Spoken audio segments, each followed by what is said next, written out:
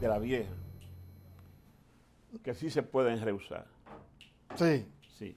Mire, ayer me tocó participar en una entrevista con el director de INAVIE, Víctor Castro. Castro, un hombre que parece ducho en el manejo gerencial del programa de el desayuno escolar y todo lo que tiene que ver con las obligaciones de ese departamento, entre ellos el transporte.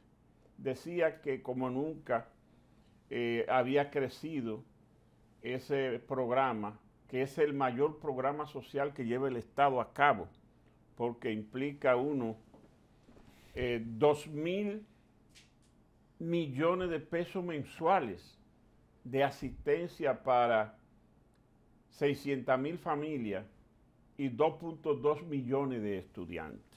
Y hablaba de la bondad, de, de cómo se han fortalecido los alimentos en el orden de los nutrientes, Ay, que ya no se da un pan blanco con un vaso de leche, sino que ahora se da un pan fortificado, vitaminado, con una taza de leche con chocolate, leche con avena o leche con otro componente, pero que ya no es el simple pan blanco con una taza de leche. Y así hablaba de muchísima bondad. Sin embargo, eh, yo le creí porque el hombre parece buena gente. Usted se lo creyó. Y, pero hoy Es que llego, es muy aquí, bueno. hoy llego aquí y mi compañero Mundo me tiene una sorpresa Mire, me- que dijo me- que me va, que me Miren va a esta dar. imagen. En Villarriba y Arenoso se retiran más de 1.200 estudiantes porque no hay almuerzo. Pero eso es ahí, pero eso cada ratito en, muchísimos lugares. Entonces, ¿qué, qué va a dar de que mejor, mejor, de que mejor almuerzo y desayuno escolar? Eso estaba bien y lo dañaron. Eso estaba bien y lo dañaron. Antes sí es verdad que había criterio. Y además se le pagaba tiempo a los suplidores. Entonces, bueno, en teoría muy bonito, pero si usted ni siquiera lo da, usted puede decir lo que usted quiera. Usted puede decir, yo doy el mejor almuerzo del mundo. Incluso si lo da, se puede discutir, compararlo con lo que se hacía antes. De manera eficiente, constante. Había una operatividad. Ah, incluso porque en momento hubo quejas de los suplidores por falta de pago. Eso también se superó.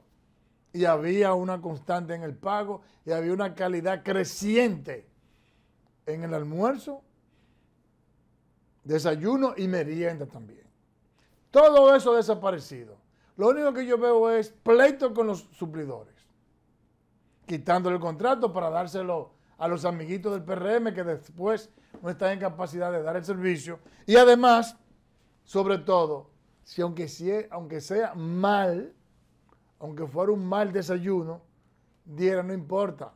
Es que ni siquiera lo están dando. Pero además, don Freddy, se mantiene la queja de aulas que no han reparado Sí, sí. que no han terminado. ¿Eh?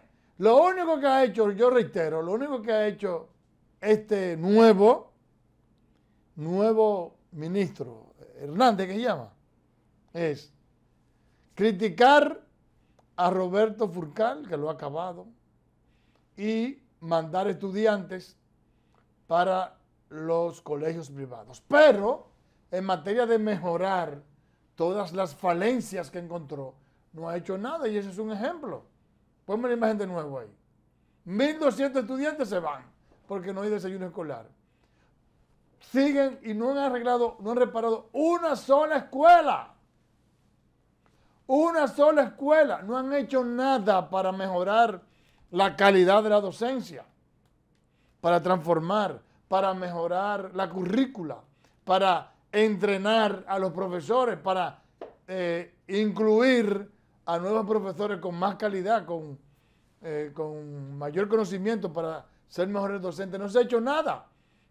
Incluso hay dos, 12 mil profesores que ganaron el concurso y no lo han podido introducir a, dar clase porque no hay donde, donde- no hay escuela para, para ponerlo- ponerlos a dar, a dar clases.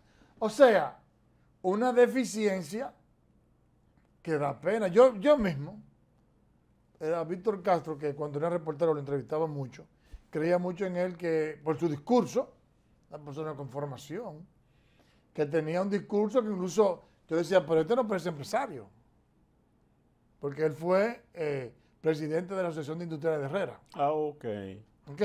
Entonces, él tiene un discurso que dice, bueno, pero este no parece ni empresario, porque tiene un discurso, una sensibilidad social que yo diría, caramba. Se merece incluso, cuando decidió meterse político con Minuta Valeria Mirabal, yo me alegré, coño, mira, Víctor Castro. Al final del camino, ¿qué ha hecho? Nada, no ha hecho nada ahí. Eso, eso, seguir con el plan del PRM de sacar a todos los suplidores que ellos los vinculan al PLD para que haya una calidad, para, no, no, para que no haya, no haya ni siquiera mala calidad en el servicio, para que no haya servicio. Un fracaso, una frustración total. Qué cosa. Bueno. ¿Y por qué que, el PRM se quiere reelegir? Porque todos los servicios, todos han mejorado. Bueno, dígame uno que haya mejorado. Vamos a esperar que lo que le queda del periodo constitucional puedan mejorar la cosa. Mire, eh, mañana se inicia la huelga de dos días de prestarle servicio a los afiliados a las ERS todas, auspiciado por el Colegio Médico Dominicano y su agencia satélite de especialidades. Es una pena que el gobierno no haya asumido el liderazgo de esas negociaciones entre el Colegio Médico y la ARS, eh, porque de verdad que la sociedad dominicana no se merece que se le niegue ese servicio eh, en un momento crítico cuando la salud del pueblo se ve amenazada por varias enfermedades simultáneamente. Ojalá que en lo que queda de tiempo entre esta hora y mañana a las 6 de la mañana, el liderazgo del sector salud o del gobierno pueda dar algún paso en dirección a resolver eso antes de que se produzca. Ojalá, don Freddy, yo le reitero que, por supuesto, nadie quiere que haya huelga de médicos. Yo mismo tengo que ir al médico en estos días. Sí. O no voy o voy a tener que pagar carísimo la consulta. Pero eh, sencillamente el sistema de seguridad social, la ley 87-01, hay que modificarla. Hay que mejorar la calidad y la cobertura del servicio de salud al afiliado, al paciente, al trabajador que paga y hay que mejorar los beneficios a los científicos de la salud que son los médicos. Bueno, la, la única brecha que hay y que ha dado el colegio médico es que el servicio estará vigente para los pacientes críticos y para las emergencias nada más. Bueno, tremendo lío. Don Freddy. Se nos terminó el tiempo, señor, tenemos que despedirnos con el mensaje de siempre, darle la gracia porque nos acompaña cada día al mediodía y decirle hasta mañana.